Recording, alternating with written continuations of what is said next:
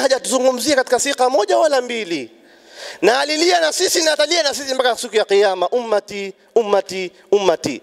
Alilia akiwa katika godoro ya umauti akilia ummati ummati ummati. Na atafufuliwa kauli ya kwanza maneno ya kwanza atatamka mtume Muhammad sallam baada ya kufufuliwa. Ni ummati ummati ummati. Umma, wenyewe ni mimi na wewe ambaye kwamba leo hii dini tumeitumia tume kama chombo fulani tu ndugu zangu waislamu uislamu dini ya ilmu lakini leo hii tumefanya dini ya wajinga alafu sisi wenyewe tumenasibishwa na ujinga. Dini yetu ni dini ya ilmu inakwenda kwa bayan na ndio unaona khitabu ambayo kwamba allah alimpa mtume muhammad anamwambia qul hadhihi sabili ad'u ila allah. Sema hii ndio njia yangu uislamu nawalingania watu waje kwa mungu. Nawalingania watu kwa dini hii. A, ala basira. Taarifun maana basira basira ni ilmu. Nawaita kwa ujuzi wa ilmu ndugu zangu. Lazima tusome. Na leo kuna baadhi ya watu wanasema kusoma sekula ni wanajaribu kutia baadhi ya nini. Tusome dini yetu zaidi alafu tuongeze na sekula sasa ilmu ya dini ikizidi sekula na sekula iwe unakuwa ni mtu unakuwa ni mtu ambaye kwamba ana thamani na utainua uislamu. Lakini ukasoma ilmu dini na ukasoma na sekula ilmu lhukumia unakuwa una balance. Ilmu dini imeshinda alafu ilmu lhukumia pia umechota kama kikombe mbili unakuwa naye. Sasa unakuwa ni mtu ambaye kwamba ukikaa kwa mfano leo upatane na atheist muislamu. Kuna hawa maatheist ambao kwamba hawaamini kama kuna mungu. Anakwambia sasa nithibitishie mungu yuko. Hapo ndio unasikia sasa tunaanza kutoa fatwa zingine. Wallahi hawa bana ulaika humul kafiruna haqa hawa sasa ndio wale makafiri wenyewe huyu kakuuliza mthibitishie mungu? Unamthibitishia. Wakati moja imamu hanafi alikujiwa na mbedui moja jahili. Akamkujia kwenye halakati ya ilmu akiwa anafundisha na wanafunzi akakuja akaambia ya imam arini rabbak. Tena walikuwa na walikuwa na suul adabi wa bedui. Wacha hawa katika hawa maimamu walikuwa wanamuita walikuwa wanamuita rasulullah walikuwa wanamuita ya muhammad! Ya muhammad walikuwa na tabia yani suul adabi. Sasa alipoingia kwa imamu hanafi akamwambia, ya imam arini rabbaka leo nataka unionyeshe mungu wako kila siku hapa halakati imani ilmu. Sasa leo toka ukanionyeshe mungu wako. Imamu hanafi alikuwa na hikma na hii ndio uislamu. Akaambia twende nikaonyeshe mungu wako. Alipofika kwa mlango akamwambia, sasa kabla sijaenda naona ile mti pale ndio mungu nataka kukuonyesha kabisa utamuona sasa. Lakini kabla hiyo akampa mtihani mdogo. Akaambia mimi nakuona kama wewe mwenda wazimu yani mtu kama taira fulani ujielewi akaambia mimi mimi najielewa sana. Akaambia sasa toa akili yako weka hapa nione.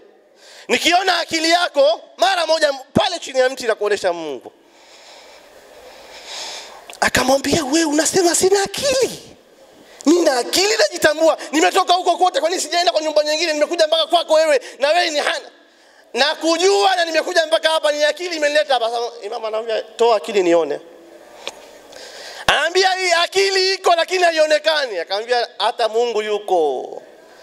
Lakini afanye nini? Wa min ayatihi manamukum wan nahar. Sasa angalia usiku na mchana inapita tu. Kuna siku umeona jua imegoma kutoka.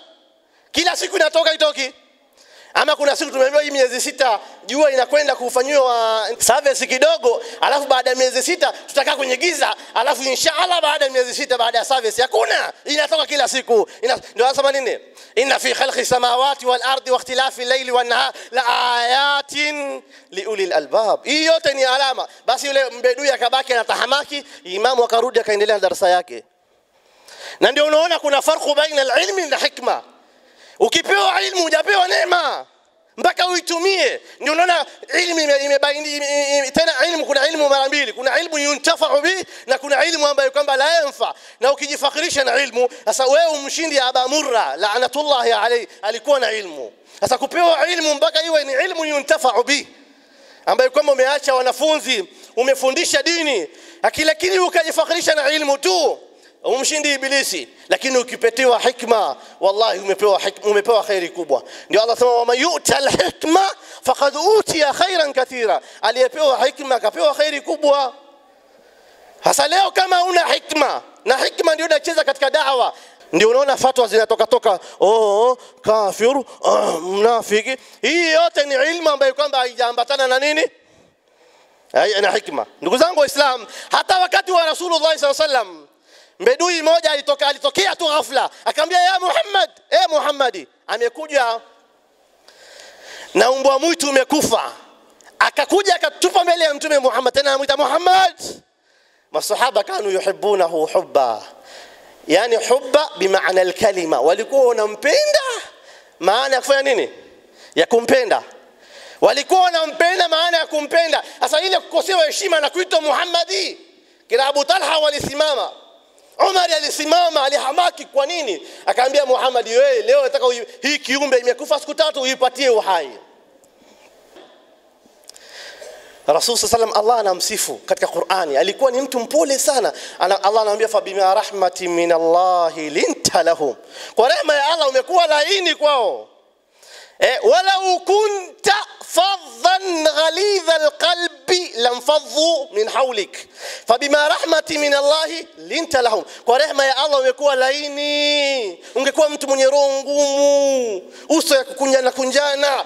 Au angekutoroka lamfadhu min haulika. mtume akasimama. Akamwangalia yule bedui anaangalia na maswahaba wamehamaki kweli jazba. Wanataka kumshughulikia mnyama ameangushwa hapo. Mtume sala salam aligeuka akaita kwa jina ya dhibu ewe mbwa mwitu ikasema labbaika wa saadaika ya rasulallah heshima na utukufu ni wako ye mtume wa mungu. Rasul salam akaiangalia ile mbwa mtu akaambia man taabuduhu yadhibu? Wewe unamwabudu nani wewe mbwa mwitu? Ikasema aabuduhu alladhi fi samai arshu. Na mwabudu yule ambaye kwamba mbinguni kuna arshi yake wa fil ardi sultanuhu na katika ardhi kuna utawala wake. Wa fil bahri sabilu na katika bahari kuna njia zake. Mtume akauliza man ana ya dibu? Mimi ni nani wewe? Kasema anta rasulu rabbil alamin. Wewe ni mtume wa Mwenyezi Mungu kwa watu wote. Qad aflaha man amanaka. Wote waliokuamini. Ndio pale maswahaba wakaanza kutabassum wote wamefaulu na wale ambao kwamba wanakupinga wewe wamehasirika mbedui anatamani ardhi pasuke aingie ndani. Anaangalia ah mnyama tena. Eh? Na mtume sallallahu alaihi wasallam combination ile miujiza yote manabii walipewa yote Allah alijumuisha kwa mtume Muhammad sallallahu alaihi wasallam. Ni kauli ambayo kama imethibiti. Habari kama hii utapata katika kitabu inaitwa Siyarul A'lami Nubala ya Imamu Shamsuddin Imamu Dhahabi. Ah sasa mtume saa salam anazungumza habari hii habari nzito. Pale pale ule mbedui alisema nini? Ashhadu an la ilaha illa allah wa annaka muhammadun. Ndugu zangu hikma katika hii dini lazima itumike. Na wallahi hikma kama umepewa hikma umepewa khairi yote kwa nini? Kwa sababu hikma upate shuleni.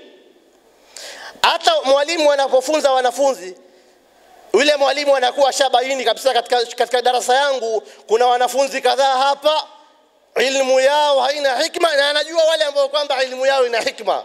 Mwenyezi Mungu atupe hikma na atupe ilmu ambayo kwamba inazidi hikma na atupe na hikma insha Allah combination yote mbili insha Allah. Ndugu zangu waislamu karne hii ambayo kwamba tuko ndani ni karne 21 tusipoamka na kuji, kujielewa sisi ni kila nani? Wallahi ulimwengu huu sasa hivi ni ulimwengu ambayo kwamba ule mtume alitabiri.